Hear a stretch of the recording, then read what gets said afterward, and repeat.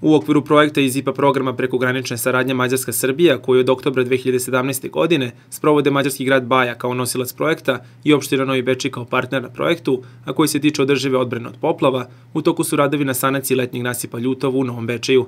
Radove na nasipu dužine nešto više od 9 km sprovodi vodoprivredno preduzeće Gornji Banat iz Kikinde, a njihova vrednost iznosi oko 10 miliona dinara.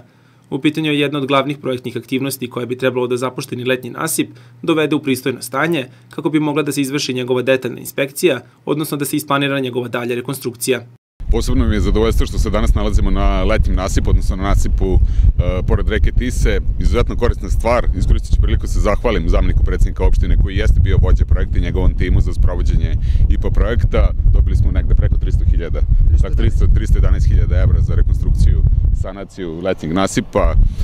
Iskoristit ću priliku da apelujem na izvođača radova vodoprivredno preduzeće Gornji Bana da zaista u što kraćem mogućem roku, ali opet naravno kvalitetno podrazumeva se, završi radove, očekujemo topljenje snega sa Karpata, letnji nasip mora biti gotov dotle.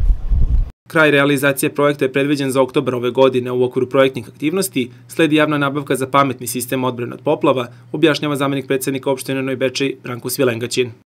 Ostale su i dve jako lepe aktivnosti koje, na koje bih, eto, kada dođe taj trenutak i pozvao građane, to je organizacija civilno odbrane i zaštite u ovaj, Novom Bečeju, samim tim predavanja i radionice kao i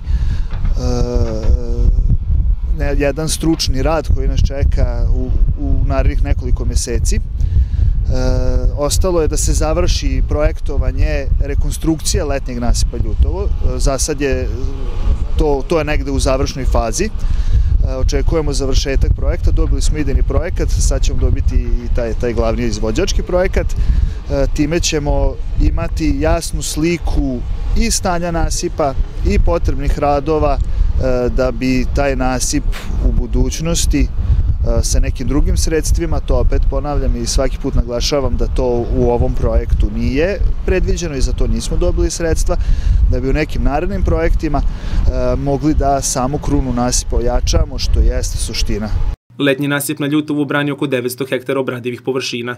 Koji su rokovi za izvršenje radova na njegovoj sanaciji, objašnjava Dragan Felbab, direktor vodoprivrednog preduzeća Gornji Banat radovi obuhvataju da se nasip istarupira, znači da se uništi e, biljna vegetacija mehanički, da se e, kada to uradimo onda će vidjeti stanje krune, e, da, da se doveze zemlja i da se izravne krune i znači da se praktično nasip dovede u, u, u, u, dobro, dobro stanje ovakav kakav i na ovoj koti.